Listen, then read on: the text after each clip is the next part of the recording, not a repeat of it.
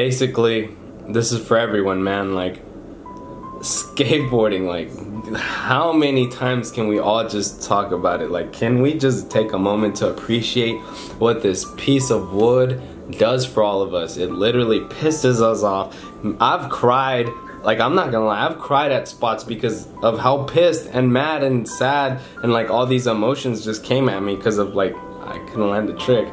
Um, I've sacked the board, I've sacked the handrail, I've I've gotten hurt severely, like not too serious. I've hit my head, got eight staples in, in the back of my head, like that, that. You know what I mean? Just, and I'm still in love with skateboarding, just as I was whenever I first figured out I love skateboarding. And it was just to know that I love a piece of wood so strongly and to always be able to fall back on that whenever I'm depressed or just whenever I'm at my most happiest it feels amazing you know just to have something where you could release all these emotions.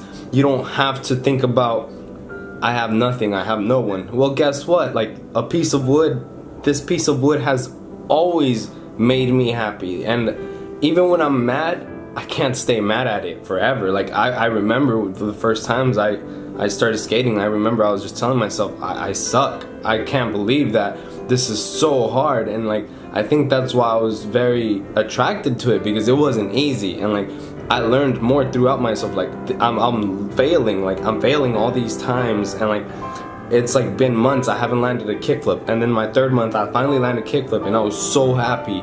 It felt unreal. And to to capture that moment that moment of it feeling unreal is crazy. Like I just gotta say one thing like skateboarding has hurt me but it's never hurt me the way a human has. And just knowing that like you can go on with a piece of wood whenever it hurts you physically and mentally and you can still go back that's that's true love right there. Like yeah I, i'm proud to say it. I love skateboarding. It's the best thing ever.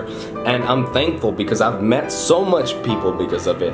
And it's it's just amazing what we go through what we go and just like it's it's it's a beautiful thing. It's a beautiful journey. And for everyone that is watching this i hope that you love skateboarding. And if you don't and you're just starting skateboarding or if you haven't tried out skateboarding i just want to tell you just go for it, man. Like, believe in your dreams, believe in whatever you want. Like, don't let other people tell you you can't do it. No matter if it's corny, no matter if how how gay it seems to others. Like, no, just do whatever it is. Like, even it doesn't even have to be skateboarding. Whatever it is, I really do hope that you find what it is that makes you happy and you do it because everyone deserves happiness, whether it's right or wrong at the moment to other people's eyes. So, I hope this helped you in any type of way um, I just felt like making this video, so yeah. Um, sayonara till next video.